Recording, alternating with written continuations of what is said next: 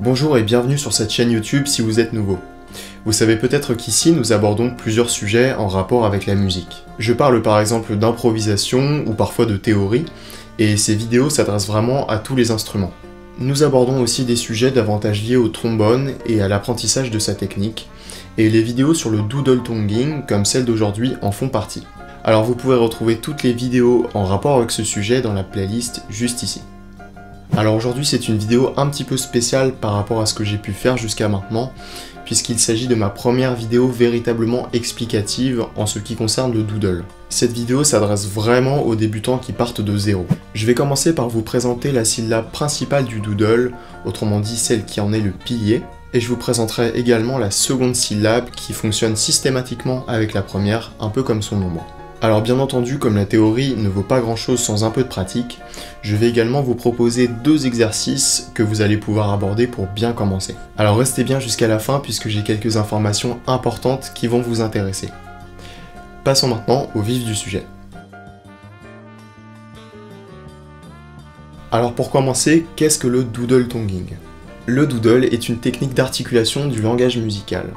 Un peu comme chaque langue a sa façon d'articuler et de manier les sons, le doodle vous apprendra à manier votre langue d'une façon un peu différente pour exploiter vraiment les pleines possibilités de votre instrument. Ceci dit, je pense que si vous regardez cette vidéo, vous savez probablement déjà ce qu'est le doodle tonguing et ce que cela permet.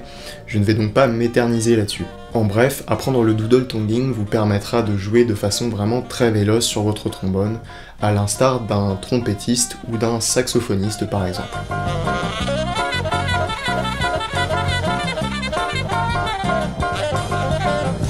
Avec du travail et un peu de patience, vous arriverez à jouer vite, de manière douce, propre et fluide, ce que ne permettent pas nécessairement les autres techniques d'articulation, comme le détaché simple, le double détaché ou le triple détaché par exemple. Le langage du doodle ne contient que 4 syllabes, mais il y a certaines règles de grammaire assez constantes si on peut dire. En effet, certaines syllabes ne s'utilisent qu'après ou avant d'autres, c'est très codifié. Ceci dit, j'imagine que si vous avez appris le français ou l'anglais par exemple, un langage à 4 syllabes ne devrait pas vous poser trop de problèmes. Nous allons commencer par remplacer le plus souvent l'articulation ta par l'articulation da, celle-ci étant plus douce. Alors vous l'utilisez déjà quand vous jouez long et legato tout en détachant vos notes.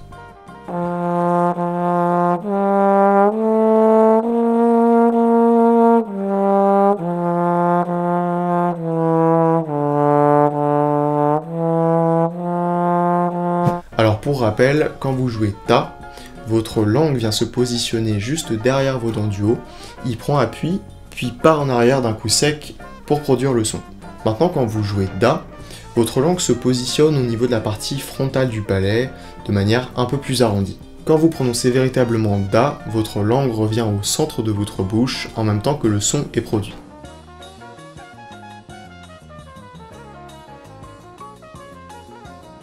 Intéressons-nous maintenant à la syllabe principale et caractéristique du doodle tonguing. Il s'agit de la syllabe ul. Elle ne commencera ni ne terminera jamais une phrase et ne tiendra aucune note non plus. Alors comme je le disais déjà un peu tout à l'heure, c'est un élément de transition dans le langage. Et c'est pour ça que cette syllabe est si centrale et si importante. Alors c'est pour cette raison que vous allez commencer par vous exercer sur da-ul ou sur a-ul.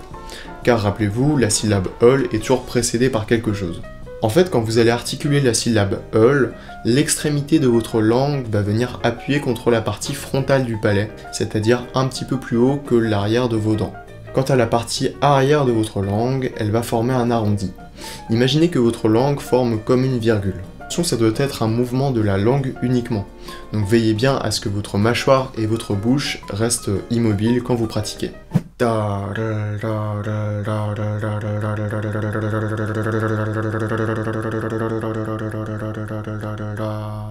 Alors autre chose, pour bien réussir, vous allez avoir besoin de maintenir votre flux d'air constant.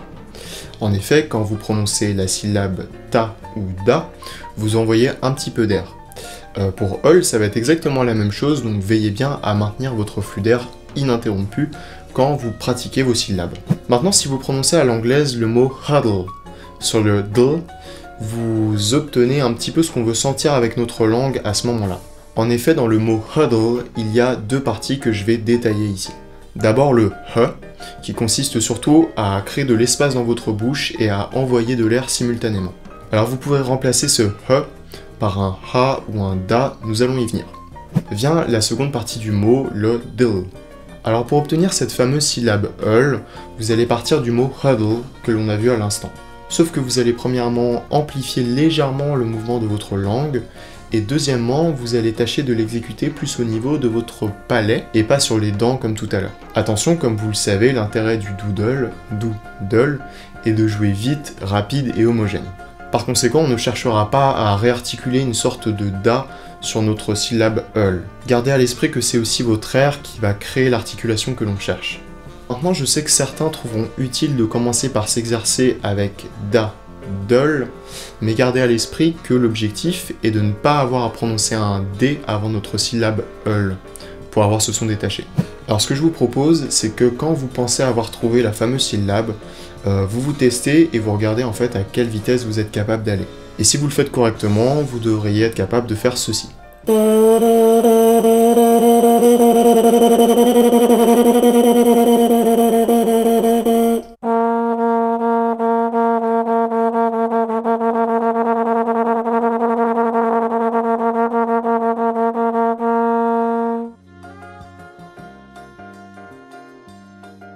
Alors petite parenthèse, de mon expérience et de celle d'élèves, cela vient un peu comme un déclic. Alors certains m'ont dit avoir trouvé plus simple de penser da gueule, donc avec un G au lieu de da eul. Certains ont également eu leur déclic en faisant directement la, eul, la, eul, la, eul, la, donc sans passer par le da au départ. Donc maintenant gardez à l'esprit que vous allez sans doute avoir besoin d'un peu de temps et de patience pour réussir à trouver cette syllabe, puisque ça viendra avec la recherche que vous allez pouvoir faire au niveau de vos sensations et surtout du son. Donc passons maintenant sur le trombone, je vous propose un premier exercice simple pour mettre tout ça en pratique.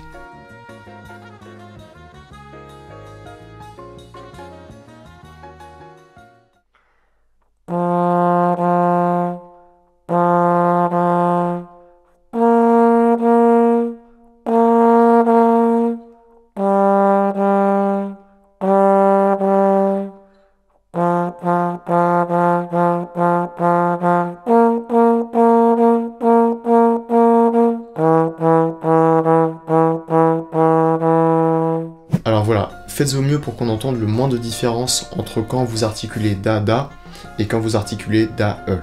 Maintenant pour le deuxième exercice, vous allez monter chromatiquement comme indiqué.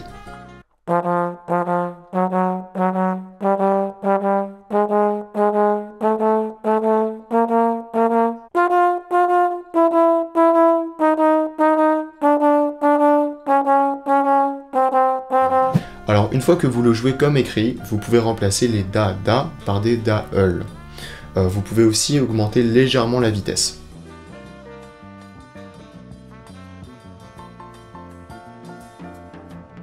Alors vraiment super que vous soyez arrivé jusqu'ici. Euh, maintenant, on va avoir besoin de la troisième syllabe, c'est-à-dire la syllabe la. J'en ai un tout petit peu parlé au début, mais je vais y revenir ici. Alors cette articulation est vraiment très simple et naturelle à obtenir.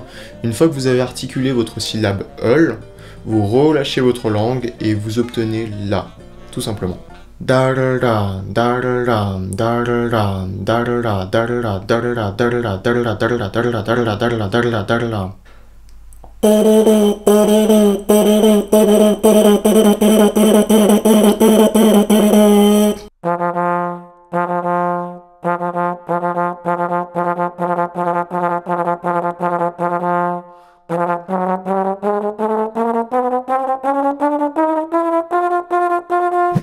Bien que la syllabe la soit vraiment simple à comprendre et à exécuter, savoir quand l'exécuter exactement pour avoir le meilleur rendu possible sera le sujet d'une autre vidéo, je ne vais donc pas m'y apesantir ici.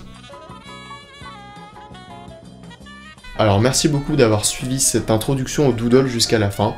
Pour celles et ceux qui veulent aller un petit peu plus loin et s'exercer, je vous ai préparé un lien dans la description pour accéder aux deux exercices d'aujourd'hui un troisième en bonus, euh, tout ceci au format PDF et accessible gratuitement. Alors petite précision, et c'est vraiment tout nouveau, mais par le lien que vous recevrez par mail, vous pourrez accéder à tous les PDF, études, euh, transpositions, bandes audio que j'ai pu partager avec vous depuis le début, et tout ceci gratuitement encore une fois.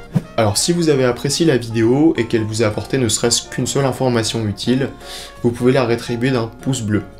Et si cela fait plusieurs fois que vous appréciez les contenus de la chaîne, c'est le moment de vous y abonner pour ne pas rater les prochaines vidéos qui sortent assez régulièrement. N'hésitez pas à laisser un commentaire, à poser vos questions, à donner vos suggestions, etc. dans la description. Euh, vous pouvez aussi m'écrire en privé si vous souhaitez prendre des cours particuliers avec moi concernant le doodle tonguing, l'improvisation, le jazz ou bien le trombone tout simplement. Sur ce, je vous souhaite une bonne semaine et à très bientôt.